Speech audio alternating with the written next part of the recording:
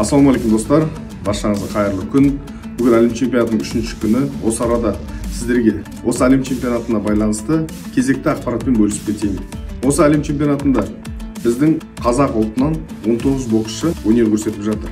Ұлттық құраманың 13 боксшысынан бөлек төрт мемлекеттің атынан бокстасып жатқан тағы бір бес қандасымыз бар.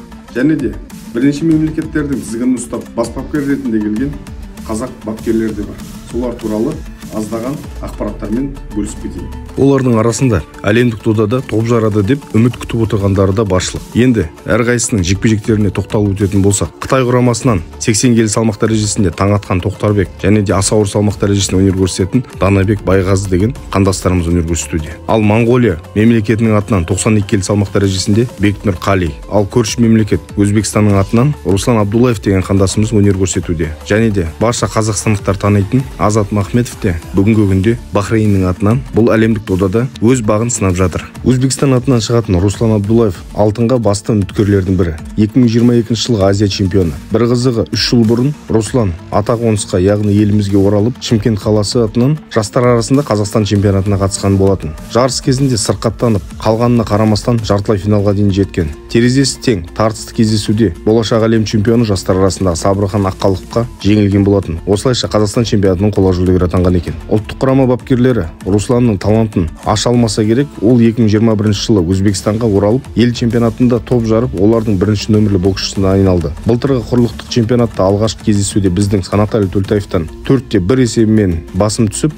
қалған жекпе жектердің бәрінде айқын басымдылықпен жеңген болатын. Азия чемпионы атанды. Өзбек елі үлкен үміт күтіп отырған руслан қандасымыз бен санатәлі екеуі бұл чемпионатта екеуі де екі жақтан жеңіп келсе бірде сегіз финалда жолдары түйісуі әбден мүмкін. Азат махметовке келетін болсақ біздің елде оны танымайтын бокс жанкүйерлері жоқ болар. Қазақстан чемпионы халықаралық дәрежедегі спорт шебері астаналық азат екі жылдан бері бахрейн атынан өнер көрсетуде. Азия чемпионатында жолы болмап еді. Әлем чемпионатының жеребесі де қиын түскен екен. Төртінші мамырда италия елінің боксшысымен нақтырақ келетін болсақ алисия камелоны жеңген жағдайдың өзінде де екінші айналымда эресланде ромеро атты кубалық боксшымен жол түйісуде екен. Ал бірде төрт финалда олимпиада чемпионы әлем чемпионы өзбекстандық хасанбай дусматовқа қарсылас атанады. Өкінішке орай моңғолиядан келген бекнұр қали алдыңғы күні босниялық дземал босниякқа қарсы кездесуге шықпай қалып әлем чемпионатын ерте аяқтауға мәжбүр болды. Ал қытай атынан өнер көрсетіп жатқан қос қандасымыз. Алдыңғы күні аса ауыр салмақта өнер көрсететін қандасымыз данабек төртте бір есебімен хорват лука пратешті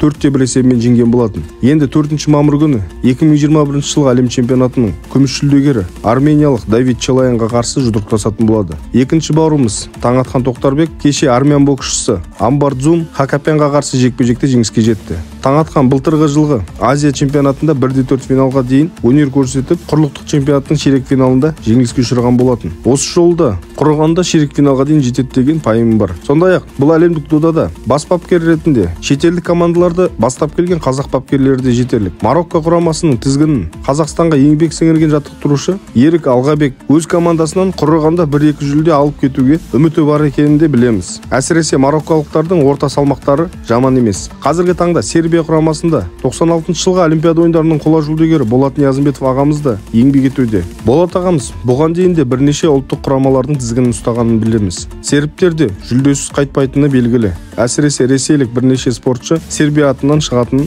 ескеретін болсақ. Ал түрік құрамасының сапында отандасымыз ерғали бекмұрзаев ағамыз қызмет етуде. Түріктер европадағы үздік құрамалардың бірі екенін ескерсек олардан жүлде күту ойға қонымды. Мінекей достар ендеше сіздерге сұрақ. Қазақстанда өздеріңіз білесіздер бокс спорты жалпы үлкен конкуренцияға ие спорттардың бірі. Сондықтан болар кейбір отандастарымыз өзге елдердің туын көтеріп өзге мемлекеттердің атынан бокстасуға мәжбүр болып отыр. Осы тақырыпқа байланысты ойларыңызды комментарийға қалдырып берсеңіздер болады. Қазақ бокс жасасын баршаңызға сәттілік.